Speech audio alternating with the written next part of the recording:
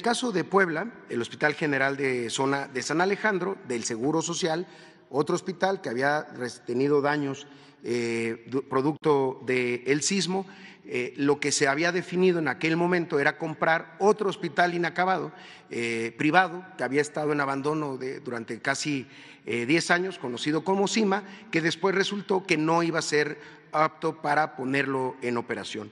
En ese sentido, en 2019 se tomó la decisión de demoler todo el hospital de San Alejandro y empezar la construcción también por los ingenieros militares de Sedena. Concluyeron la demolición en 2022, inició la construcción ese mismo año de la obra y la echamos a andar ahora eh, eh, en, septiembre de este, de este año. Ha sido una inversión de 1.687 millones de pesos, un hospital de 180 camas. También allá se puso en operación por parte del Seguro Social el nuevo hospital de Cuautlancingo y por parte de Bienestar la unidad de oftalmología del Hospital General de Cholula. En Querétaro, en Querétaro también había un hospital, el General de Querétaro, una sustitución de un hospital que ya tenía varios años, una sustitución y una ampliación.